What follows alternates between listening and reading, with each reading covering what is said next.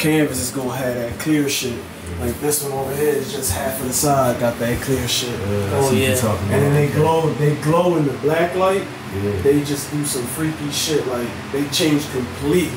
I like this right here. Like this shit, this whole background when I hit the certain light Yeah, disappears. It's like neon. completely. Yeah yeah, yeah, This guy glows. This guy glows, glows. His red uh, robe disappears in certain color light. Damn. Like as you see his face. Um, s- these guys don't have as much like of that crazy effect, but this got like a little glow in it.